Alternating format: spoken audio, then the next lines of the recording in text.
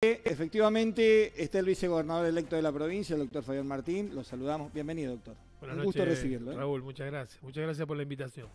Bueno, este, mm, qué trabajo en estos últimos tiempos para ustedes, ¿no? Después de las elecciones, digo, con todo lo que eso implica, ¿no? Transición en el poder legislativo, transición al poder ejecutivo, confección de gabinete, las, primeras medidas. Me, me imagino que no la tienen fácil y tampoco tranquila. Sí, sí, por supuesto. La, tarea es ardua, este es un año realmente de muchísimo trabajo. Se olvidó la mejor parte, que soy intendente de Rivadavia, que Además, no, que no, es una que eso es como que ha pasado un segundo plano últimamente o no? Bueno, es decir... O trata de... Mi, mi, mi responsabilidad hoy está en gobernar Rivadavia y yo soy intendente de Rivadavia hasta el día de diciembre. Para mí no ha pasado, en segundo plano sigue siendo eh, sigue siendo mi prioridad, porque es mi responsabilidad. Con mi una obra inaugurada por semana. Una hora, una hora por semana, ahora estamos de veda electoral, pero venimos trayendo una obra toda la semana. La verdad que es un ritmo muy importante y que es histórico en el departamento, que se, han, se ha producido casi la renovación total de, las luminarias LED de, de calles y de plaza estaremos cerca de un 90%, 92, 93%. No sé si vamos a llegar el día de diciembre al 100%, pero sí vamos a quedar ahí muy cerca de, poder realizarlo.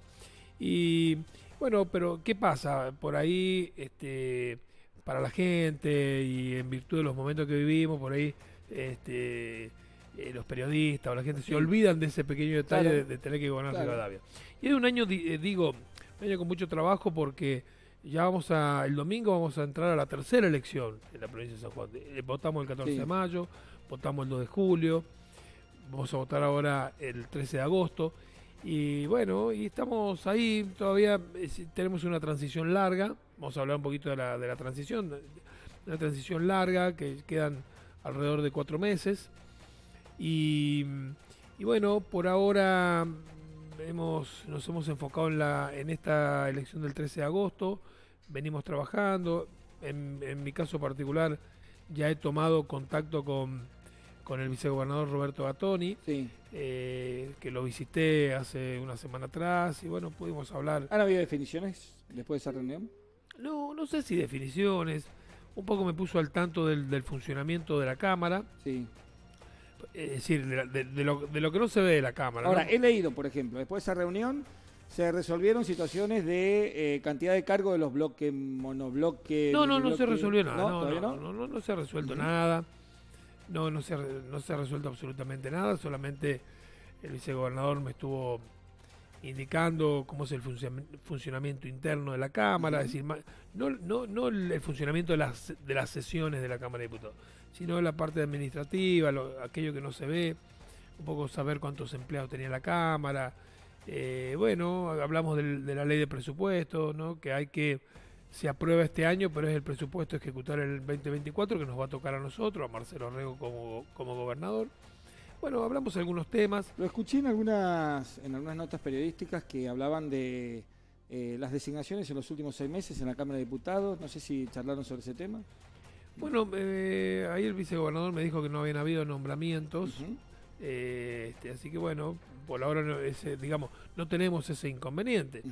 Eh, pero, pero mm, de todas maneras, en cuanto a la, al armado de los equipos para el próximo gobierno y todo esto, que tendrá que definir, por supuesto, nuestro futuro gobernador Marcelo Rego, eso yo creo que mm, se va, me parece a mí, que se va a ir dando después de la elección del 22 de octubre, que son elecciones generales.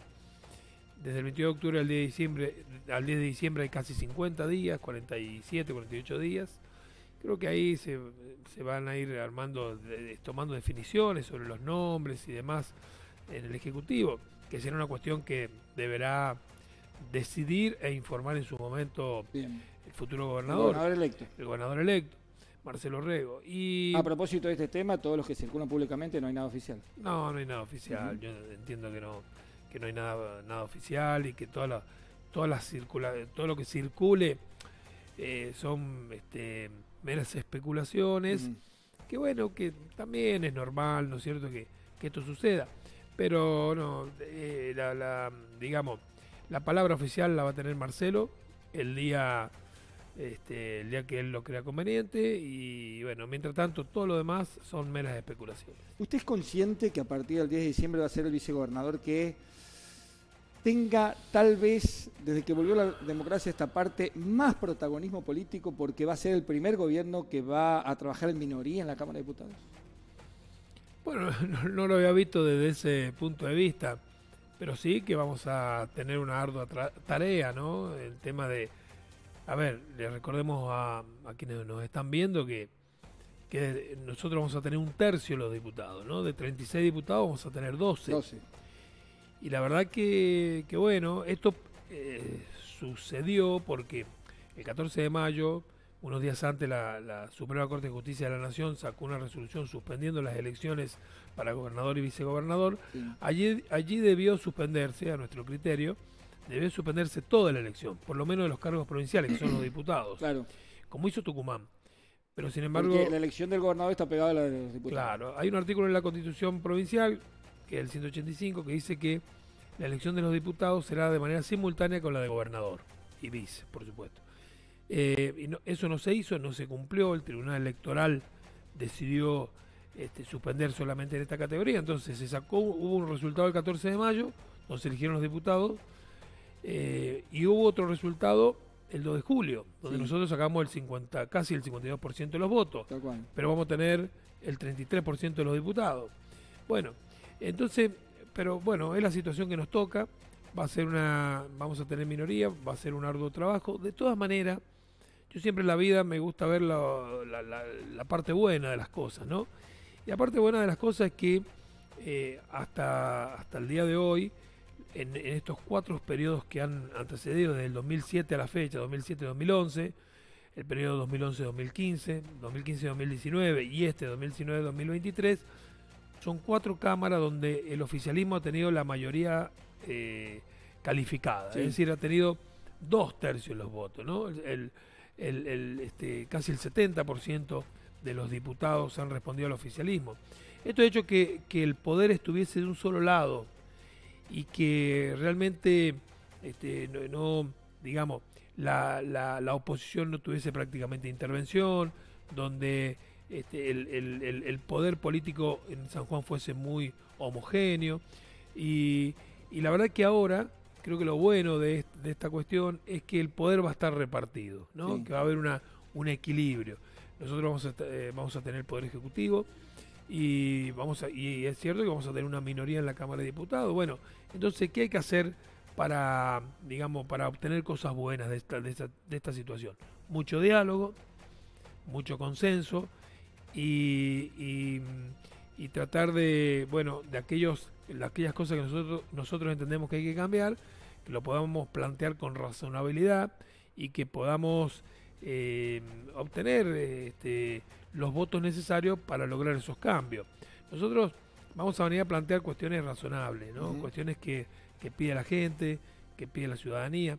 Cuando en campaña dijimos, lo dijo Marcelo Rego y lo dijimos en general este, varias personas de nuestro equipo, que íbamos a eliminar la ley de lemas, porque es una ley... Que era lo, primero que iba a presentar el gobernador de Sí, no sé si lo primero, pero que era una cuestión a, este, a resolver.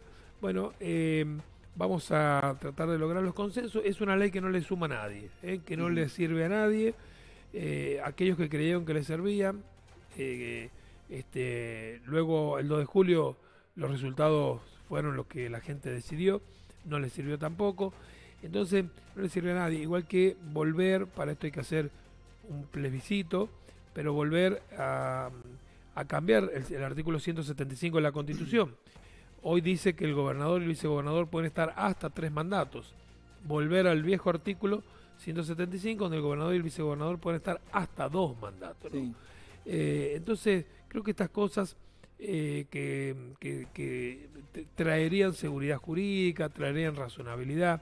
Bueno, estas son las cosas que nosotros vamos a plantear y que ojalá, no digo que vaya a ser fácil, pero tengo este, muchas esperanzas que, que podamos obtener los consensos para lograr las transformaciones que queremos en educación, en salud, si hablamos, casualmente le iba a preguntar eso, si hablamos de leyes fundamentales que ustedes consideren sí o sí que tienen que salir, por ejemplo, se habla de emergencia educativa, se habla de boleta única, se habla, bueno, de la ley de lemas, escuché por ahí reforma de ley del ministerio, bueno, ¿cuál sería de todo eso? Bueno, eh, nosotros, más que reforma educativa, nosotros queremos este, emergencia hablar de, o de emergencia educativa, perdón, queremos hablar de revolución educativa, ¿no? Es decir, por ahí eh, hay algunos, hoy, hoy es difícil, ¿eh? En el mundo tener programas educativos que estén actualizados. ¿Por qué? Porque la ciencia va avanzando con, con tanta rapidez. Hasta hace eh, cinco años atrás u ocho años atrás, se armaban programas educativos, duraban 20 años o tal vez más. Hoy este, se arma un programa educativo y dentro de dos años es este, un programa viejo porque la tecnología, la ciencia va avanzando de manera realmente acelerada. Pero nosotros queremos tener, eh, ¿por qué hablamos, queremos hablar de revolución educativa?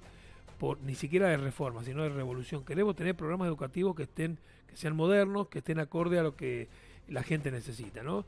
En, este sentido, este, hay que trabajar para hacer alguna reforma y que los chicos, por ejemplo, que vayan al secundario puedan tener, o que vayan a ingresar al secundario, puedan, al egresar del secundario, puedan tener un título que, que les sirva, no solamente como un paso previo para ir a la facultad, sino si no tienen la oportunidad de ir a la universidad, que les sirva como una herramienta laboral. Y eso significa tener una tecnicatura, un oficio. tener, por ejemplo, una tecnicatura en minería, una tecnicatura en turismo, que San Juan tiene potencial realmente. Que solo lo dan las escuelas técnicas. que lo dan las escuelas técnicas, que, que tengan este, un, título referido a la agroindustria.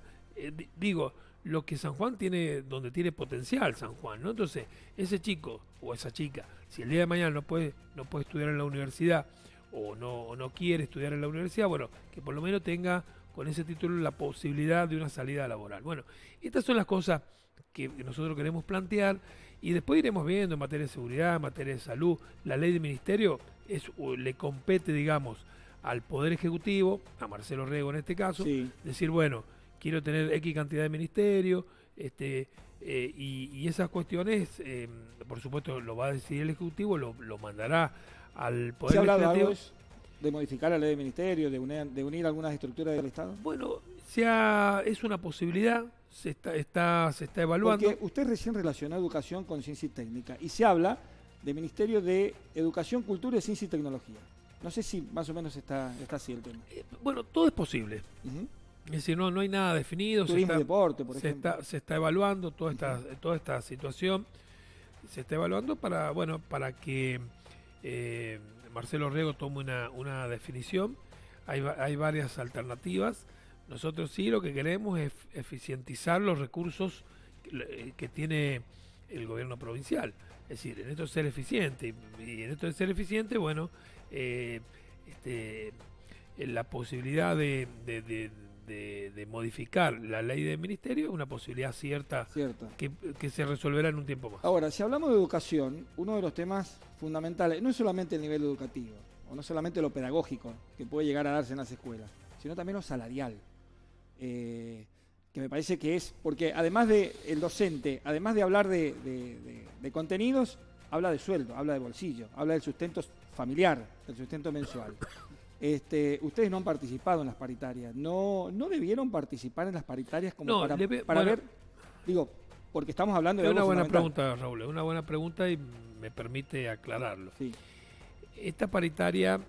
Eh, a ver, hasta hace algunos años atrás, a mí me tocó como intendente de Rivadavia, hacíamos una paletaria del año y, volvíamos al otro año, porque no había una inflación tan profunda como hay hoy. Hoy hay una inflación que hace que cada... Se hizo paritaria en marzo, se hizo paritaria en julio. Y, y, esta paritaria, que todavía no, digamos, no se llega a un acuerdo, entiendo que todavía no se ha llegado a un acuerdo, este, va a ser eh, lo que lo que para lo que queda del, año del año 2023. Sí. Entonces es algo del presupuesto 2023 que está ejecutando el gobierno de Sergio Uñac. Nosotros nos tocará ya eh, lo que corresponde al año 2024.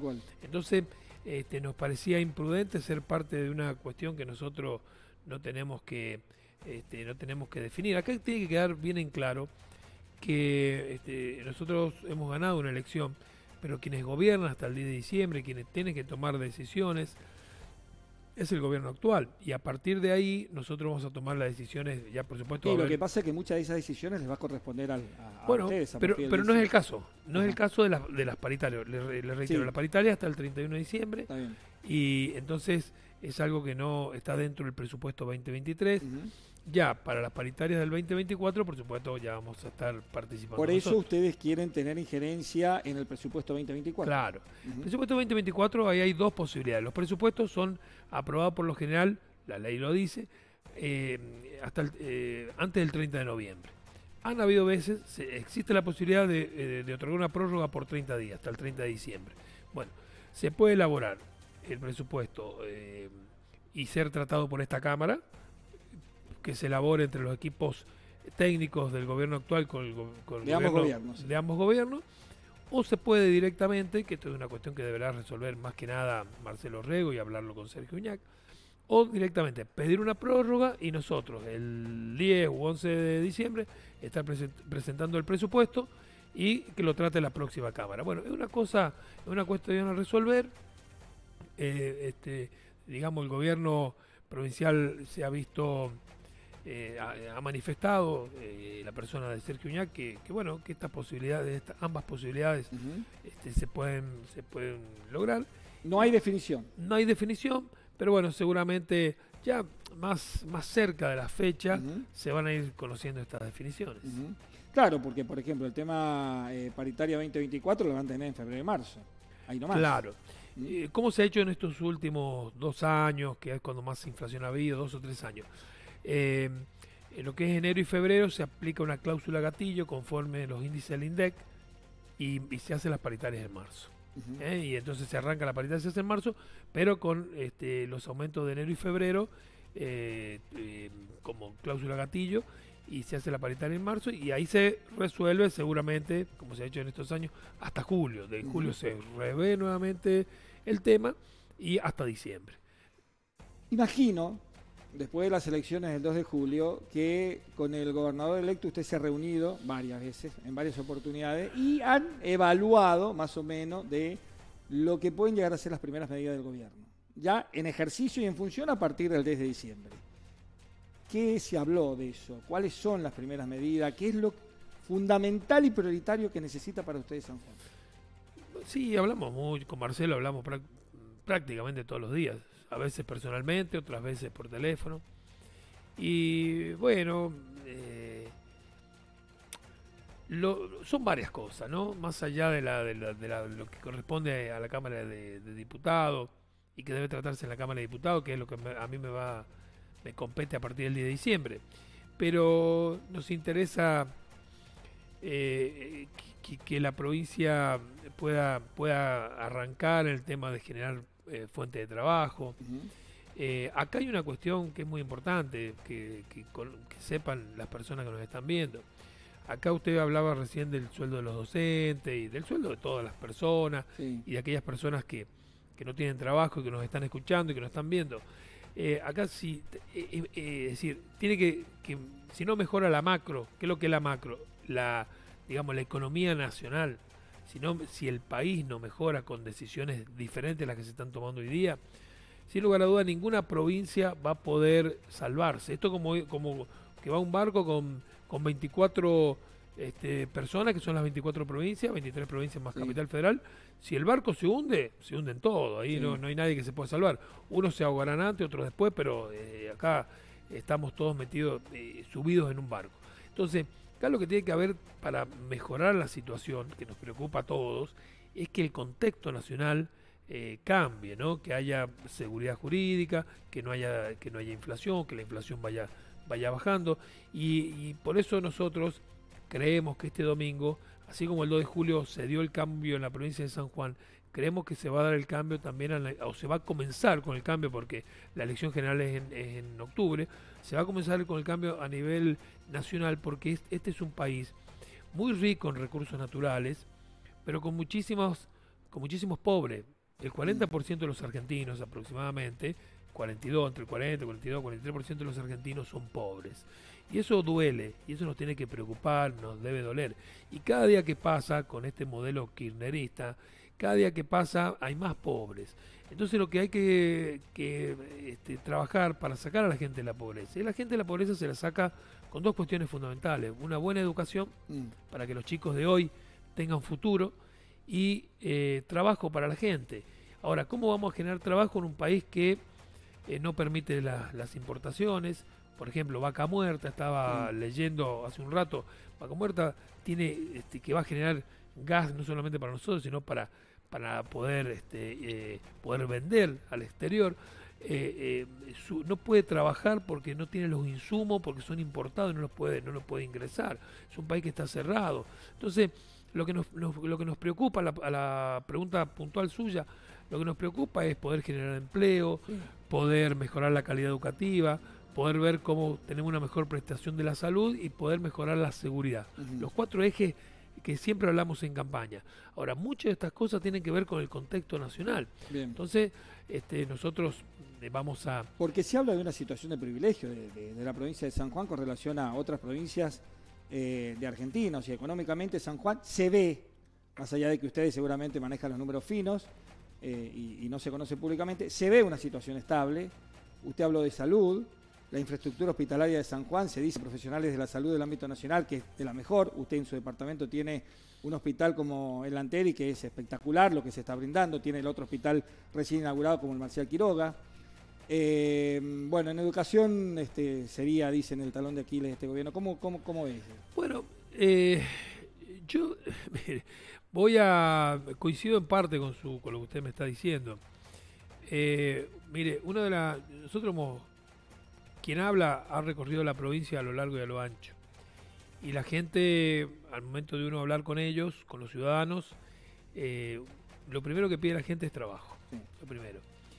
Y lo segundo, le diría, es una mejor prestación de salud. Yo creo que el talón de Aquiles, eh, seguramente en educación, pero en salud hay mucho por mejorar. Es decir, hay hospitales, es cierto, como pasa en los departamentos más alejados, pero no hay prestación médica. Entonces, faltan profesionales. Bueno, pero, es un problema mundial. Claro, eso es un problema mundial y que ahí hay que generar, se me ocurre distintas alternativas, por supuesto que no es un, tema fácil de solucionar, pero digo, si tenemos la Universidad Nacional de San Juan y si hay una carrera como medicina que no está en la Universidad Nacional de San Juan, tenemos que hablar con las autoridades para gestionar lo más rápido posible la llegada de esa carrera tan importante que la tiene la, Universidad Católica y que tiene un cupo porque no, no tiene mayor capacidad, entiendo. Entonces, que lo tenga la Universidad Católica y que lo tenga este, la Universidad Nacional de San Juan. Vamos a sacar el doble de médicos, que motivemos a los chicos a estudiar esa carrera, porque la verdad, eso es, muy, cierto que usted dice, es un problema mundial, pero tenemos que tratar de amortiguarlo de alguna forma. La mejor manera es motivando a los chicos que en vez de que estudien otras carreras, por ejemplo, yo soy abogado y la verdad que en abogacía hay un exceso de, de profesionales, hay un exceso de estudiantes de abogacía en todas las universidades del país por ahí sería bueno este, este, alentar a los chicos que estudien, que estudien eh, medicina. Yo tengo mi hija estudiando medicina en La Rioja, no, no pudo estudiar acá en San Juan. Entonces, eh, digo, por supuesto que esto es algo que de, concretarse, vamos a tener profesionales dentro de 6, 7, 8, 10 años. Pero bueno, no importa, tenemos que comenzar a realizar esta, actividad. Pero eh, el tema de la prestación de salud, especialmente en los departamentos alejados, es un problema que lo deberemos resolver o le deberemos minimizar el problema lo máximo posible. Y bueno, estas son las cosas que nos preocupan junto a Marcelo Rego. Iremos viendo, tenemos, si hay una parte buena que tiene esta transición, que no es lo más conveniente, pero esta transición larga, es que nos permite tener un tiempo este, más extensivo para para poder ir considerando todas estas cuestiones. José González. Algunas preguntas que están llegando para el vicegobernador eh, electo, eh, que le vamos a justamente transmitir por parte de la audiencia, nuestro WhatsApp, el 124-413-0373. Eh, preguntan, Martín, Fabián, ¿qué va a pasar con los trabajadores del Estado? Mucho se, habló y se habla en realidad de que está sobrepoblado. Eh, que hay una gran ocupación ahí. ¿Qué va a pasar con los contratados, con los pasantes también?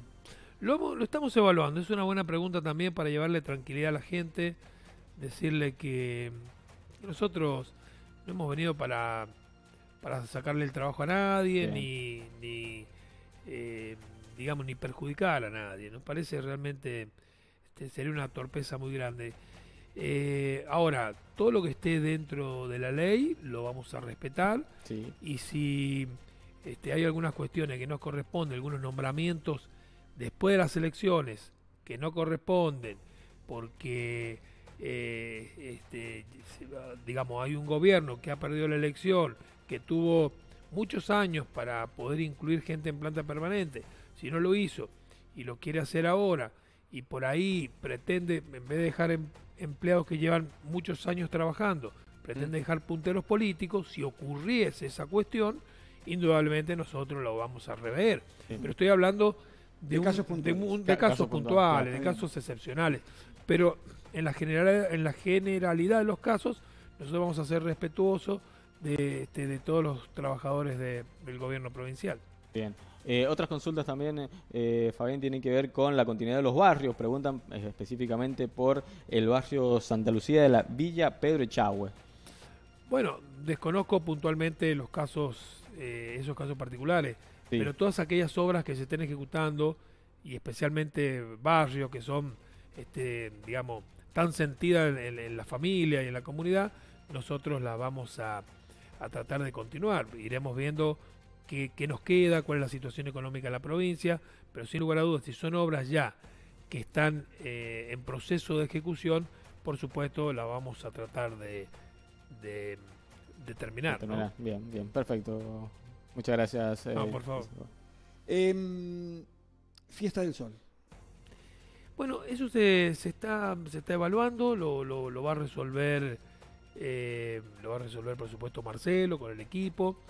Pero también en esto quiero decirle que eh, a priori eh, queremos este, realizar, queremos que, digamos, todo lo que se venía haciendo en obras, en fiestas y en lo que fuese, eh, este, poder continuarlo. Lo que pasa es que debemos ver cómo vamos a recibir la provincia, en qué situación la vamos a encontrar. Son cuestiones a, poder resolver, pero yo creo que hay que mantener la calma, que hay que tener fe, que, este, que las cosas van a salir y, que vamos a, me da la impresión a mí que se van a hacer este, ajustes en aquellos, eh, allá donde hay gastos superfluos, allá donde hay gastos excesivos, que hoy la provincia no está en condiciones de poder realizarlo. Pero eh, se está evaluando y yo particularmente tengo, tengo la esperanza que, que se pueda realizar. Habrá que esperar. La ministra de Turismo dijo hace unos días que necesita charlar con el nuevo gobierno para definir algunas cuestiones muy importantes que se deben resolver ahora en agosto, en septiembre. Como por ejemplo artistas, la temática de la fiesta del sol, etcétera, etcétera. Hablando obviamente de la mega fiesta que estábamos teniendo. Charlaron, se reunieron. Eh, desconozco puntualmente, desconozco puntualmente, pero bueno, si no han charlado, seguramente después del 13 de agosto se van a reunir los equipos, que me, da la impresión, porque estas son cosas que, es decir, la fiesta del sol y algunas otras cuestiones, se, se, llevan a cabo el año que viene, pero hay que comenzar a prepararlas desde ahora, ¿no? Entonces creo que seguramente nuestro equipo, si no se ha puesto, si no se han puesto en contacto, se van a poner en contacto dentro de, pocos días. Vuelta internacional de San Juan. La misma situación que la fiesta del sol. Eh, se está evaluando, se está eh, viendo, se están viendo los números y bueno, se va a decidir un poco más adelante, eh, pero también tengamos fe. Yo lo que les pido a los sanjuaninos que, que tengamos fe. Vamos a...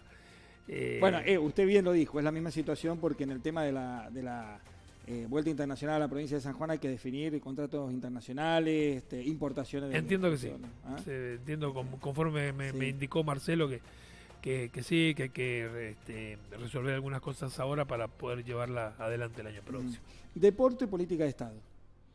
Por supuesto, el deporte, el deporte siempre tiene que ser una política de Estado, es, un resorte realmente Pero con la intensidad que, estamos viendo con este gobierno.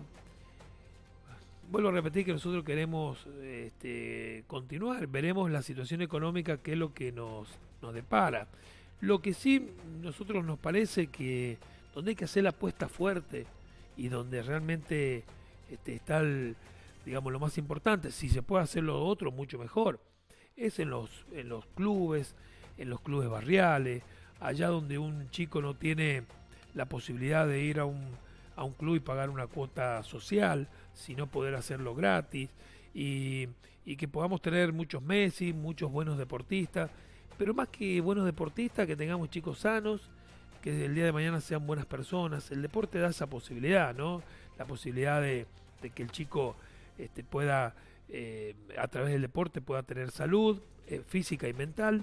Y nosotros ahí vamos a apostar muy fuerte en los clubes barriales y en todos los clubes de la provincia, de todos los deportes. Y después los espectáculos, estos espectáculos especialmente internacionales, que hoy tienen un costo este, muy alto, en virtud de que nuestra moneda y la inflación eh, hace que nuestra moneda tenga muy poco valor respecto al dólar, bueno, lo iremos evaluando. Eh, hay una situación, estamos faltos de dólares, eh, también tenemos que ser cuidadosos de los recursos, porque vienen este, figuras internacionales, se llevan esos recursos y, no quedan en la provincia. Entonces, hay que poner hay que tener un balance, hay que, hay que ser balanceado y ver en ese caso, qué le queda a la provincia y qué, y qué, y qué se va de la provincia, ¿no? Pero por supuesto que el deporte, la cultura, el turismo, Son, son políticas de Estado. Obviamente, siempre se habla de educación, de seguridad y de salud, ¿no? Bueno, pero esto, estas otras también deben ser políticas de Estado, el ambiente, el cuidado del ambiente. Hoy el cuidado del ambiente es política de, estado de, Estado de cualquier país del mundo, porque el calentamiento global está trayendo inconvenientes realmente este, muy importante y también eh, está en nuestro, digamos, en, nuestra agenda principal. ¿Eso significa que la Secretaría de Estado de Medio Ambiente va a ser ministerio? Bueno, es una secretaría con rango ministerial, ¿no? Eh, entonces, este, eh, mínimamente va a quedar como está. Pero mínimamente, mínimamente va a quedar como está. Marcelo y el equipo evaluará los cambios en, en la ley ministerial, ¿no? Bien. Eh, tenemos que terminar, doctor. Ha sido realmente un placer recibirlo. Ah, nos han quedado muchísimos temas, producción, economía, etcétera, etcétera, que seguramente lo vamos a estar charlando de acá en, los próximos meses. Yo le voy a nombrar una palabra y usted me va a decir qué le sugiere. Dulce. Ah, mi mamá. ¿Qué le diría a su mamá en este momento de, que está viviendo y de éxito? Bueno, que mi mamá falleció hace dos años. Falleció en enero de del 21. Y bueno, me hubiese gustado mucho que me hubiese visto a dónde llegué, ¿no? Porque la verdad que para mí, yo vengo siempre lo cuento, de una familia de viñateros, de trabajadores de la tierra, que nunca, prácticamente, no sé si nunca, pero se hablaba muy poco de política. Y bueno, y a ver, y estar acá. Mi, mi, mi viejo falleció en el 2007, ¿eh? y ese año me acuerdo que falleció este, unos meses antes de las elecciones. Ese año me designaron, fui electo concejal de Rivadavia. Y bueno, también me hubiese gustado que me viera en aquel momento. Me acuerdo cuando asumí como concejal, decía qué lástima que no estaba mi papá para que me viera. Y después me hubiese visto, me hubiese gustado que me hubiese visto llegar a ser intendente. Y ahora donde estoy, eh, seguramente desde allá arriba este, tengo la, esperanza y la fe que, me están viendo y que se sentirán orgullosos, ¿no? Y como mis abuelos que, vinieron de España y con, eh, siendo muy jóvenes, con una mano atrás y otra adelante, como se dice habitualmente, y la Argentina, San Juan más precisamente, les dio la posibilidad de, trabajar las tierras, de, armar una familia y de poder desarrollarse en, este, este, en esta hermosa provincia. Seguramente este, estarán muy orgullosos de esta situación y yo muy comprometido con, con mis con provincianos porque este, yo vengo de una familia de, trabajo, una familia de bien y quiero que, siempre mis familiares y mis amigos se sientan orgullosos de, mi trabajo. Entonces, para eso hay que hacer bien las cosas y, tener la, este, la, digamos, la mayor tranquilidad, como le decía recién, para poder resolver los muchos problemas que van surgiendo y en eso yo voy a ser este, un soldado junto a Marcelo Rego y todo nuestro equipo para tratar de hacerlo lo mejor posible en un contexto que por supuesto que va a ser difícil, pero lo bueno acá que la Argentina y San Juan tienen este, muchos recursos con que salir adelante. Muchas gracias. No, gracias a ustedes, muy amable. La palabra del vicegobernador electo de la provincia, el doctor Fabián Martín, en Dinámica. ¿Nos vamos a una pausa, José? Sí, nos vamos a una pausa, nos queda todavía un poquito más de programa, así que pausa, ya volvemos.